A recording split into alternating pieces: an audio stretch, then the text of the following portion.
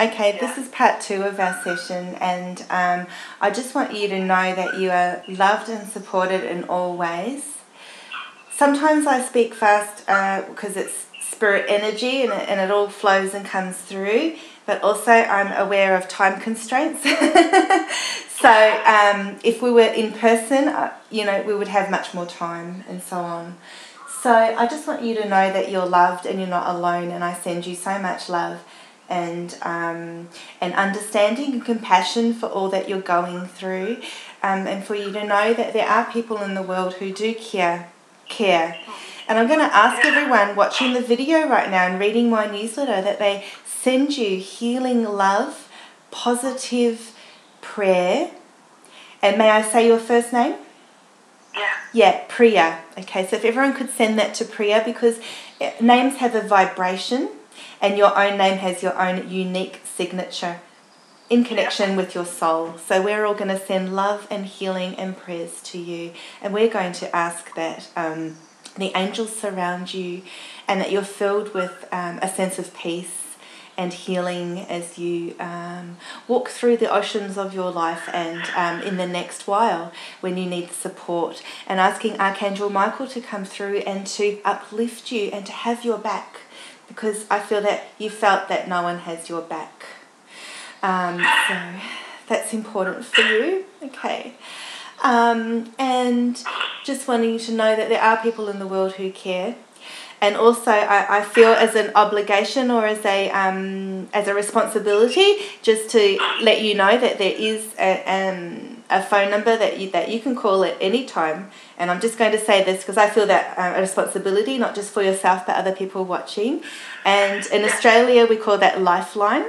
And in Australia, that number is one three triple one four, and that is for crisis support and suicide prevention, because uh, that is an absolute you know essential uh, and for anyone in any other country i'm sure there are other helplines that you can call please look it up if needed okay but giving support to Priya and knowing that um, that you are loved and you're cradled. So if you could imagine now, I'm having all the ascended masters are gathered gathered around you and angels as in a circle around you, and receiving a circle of healing from anyone who'd like to give that. Um, so that will be happening over the course of the next month or so. Um, so know that that will come streaming in at any moment, and that when you're sitting in your home and the light comes through your window, and uh, you'll have a touch of spirit touching you in your heart and soul, and all the prayers of everyone. Okay. So, and just again, just visualizing all those tears, acknowledging them for they're real. And uh, this is you accessing the truth of your feelings and everything that you've been going through, and to know that that is okay and that someone is hearing you and uh, listening and feeling it as well. Um, would you like to ask any questions?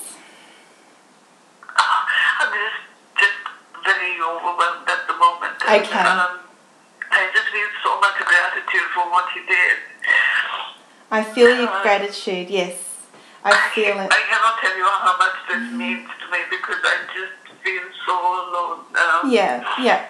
Like I, like I said to you in my email, I, I don't have anyone here, so. Yes, um, yeah, yeah. Okay. No, thank a- you so.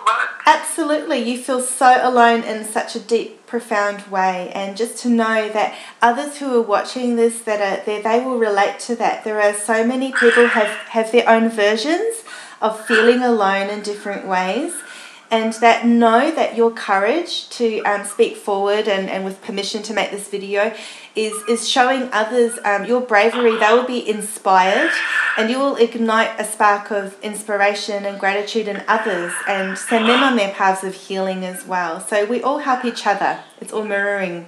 And you deserve this. You, you need to know that you deserve and that you're worthy. Um, that's really, really important. Oh, thank you so much. Thank you so much.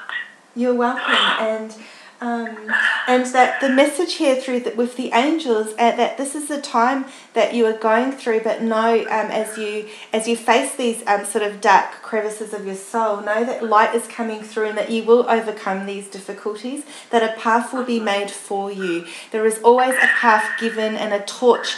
Um, in your darkest moments, there will always be a spark or a light or a torch. Even if it feels so dim at times, the light is always there. And this is an example of a lantern being offered to you. The your guides are showing me now is all these lanterns, a path with lanterns one by one, and just for you to take it step by step, one by one, as you cross the pebble stones of life. Um, and they're saying to find balance and harmony in your life. So if you could just um, think about all the different areas of your life and just find a balance. Um, I know that right now you are consumed with motherhood and also that feeling of entrapment, not only in your relationship but domestically in your home uh, in your area and as an isolation of, of coming here and not knowing anyone and also um, you know mothering a child. Um, so just know that that is um, seen and appreciated and you're doing the best that you can. And you are doing a great job. And you need to give yourself more credit because you are a beautiful mother and from one mother to an, another mother, and I'm knowing this, I'm sensing this as a mother and as an intuitive at the same time for you to know that and to believe in yourself. I feel that you've lost your sense of faith and belief in yourself and confidence. Um, with yeah. a, a, low self esteem because once you know you had a really successful job, uh, which you mentioned in your email, and yeah. and you feel now that you know, and this happens to a, a lot of women too, with you know, you be, suddenly become a mother, um, and you're sort of stuck and then you know you have these issues in your household and in your relationship and now you're like now what am i supposed to do? And um, with your tutoring all your students left but let me tell you because i also do um, english tutoring as yeah, i've yeah. emailed with you. And um, what happens sometimes is they do disappear suddenly they will disappear and i always knew when this happened to me it was always for a reason. And even though you don't understand it at the time sometimes, it becomes clear later. And I believe that they disappeared for you to have that, um, that sense of loss needed to be amplified in order to, for you to heal the deepest wounds of your soul and your heart. Also connected through lifetimes ago. I feel that connection. So I feel that with your husband, there is that soulmate connection um, but in terms of soulmates can push our buttons and they can feel like our worst enemies because they're pushing something in you and they're holding a mirror up. It's something you don't want to see. Um, that and was uh, one of the things that um, I'm starting starting to question now. Yes. Because I fell in love with my husband and we, we decided to get married against um, yeah. so many odds. Yes. And, um, yeah I mentioned to you that I moved here for him, mm. and um, now it just feels like there is nothing. Mm. Um, yeah. And like you said, I do feel that there's a lot of blame and uh, mm. guilt. I feel, did you fight for your marriage? As in, literally, yes, you did. fought because I, I got fought, F O U G H T. So I wrote that down. Yeah, like you fought for your marriage, and now it's like a slap in the face. That's how it feels. Yeah. So, and now for what? All of that fighting that you do. Now, everything happens for a reason, and that was something that needed to happen. You needed to put your foot down with your um, family, is that correct?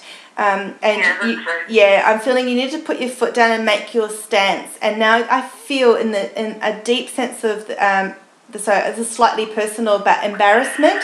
Is that right? I feel a sense of personal shame um, in relation to your family, okay, and that feels very emotional, okay, and um, completely want to acknowledge and understand that where this is coming from. That um, and I just want you to know that that's okay. I feel like there's some mother healing for you, not just as a mother to your own child, but with your own mother. Does that make sense? Um, so yeah, absolutely, absolutely, it does make sense. Yeah, female, the that female energy and that link. I feel that you feel like that cord has been broken, but I'm I'm getting a symbol of it connecting together again and a little spark, and that even though it might not be perfect, like a broken heart, when you put it together, it still is essentially. Um, yeah. A true heart, if that makes sense. So, acknowledging the wound and the crack there. Um, and sending healing to that. I just want you to feel not so um, alone and, and, and shameful. I feel that that's also part, uh, part I feel culture coming through, um, and uh, as well, fa- and family culture and dynamics. Does that make sense? Um, Absolutely, yeah. Yeah, and I feel that you need to um, to honor yourself and how far you've come, and be proud of the accomplishments that you have made. I'm feeling that you feel. I'm feeling uh, hard to explain. So. Um, as in you have had accomplishments and some where you have felt proud, but you did not feel that you received um, the uh, the pride that you were perhaps after. Does that make sense? To receive the uh, recognition would be the word. So um, I want to now give you like a we call it etheric, which basically means like invisible spiritual golden medal. And I'm feeling to place it around your neck and where the medal touches your heart. And I feel that that is what the angels are saying right now, what they want to give to you um, an acknowledgement and rewards for your great efforts. And to know that it has not gone unfounded and it's all it's not all for nothing. Um, that you have a long life still ahead of you and many treasures. They are saying, uh, they like to play with words, so they're saying treasures treasures and pleasures are, on the road for you. And it's a very happy energy. They're sending me um, smiles and happiness and beautiful feelings. It's just, can you feel, I'm not sure if you can feel that yourself, but this joy and this, yeah, yeah, you know, and that must so hard when, beautiful. So, um, so yeah, just, that's what they're sending you. Literally, I'm smiling from, you know, ear to ear right now and as I'm encompassing the energy and that transmitting it to you so that you can feel it. And you, you've gone from your darkest hour, and they're saying, um, and your gloomiest day, but on the horizon, there is so much more, and there's so much happiness to be had for you. And to acknowledgement of all the grief with your family and your loss. Okay, I'd like to. Um, Dad comes up now. Okay, so yeah. um, he's coming up strongly for you as well, and I feel that um, in a way you feel like you've had a knife through your heart. Does that make sense? Um, that's how they're presenting yeah. it to me, and I'm yeah. sorry to have that image again come through, but that's how it feels. Um, and yeah. I'll, um, yeah. Uh, and also you feel, and again, I'm, I'm sorry, but this knife imagery comes through. You feel stabbed in the back by somebody too.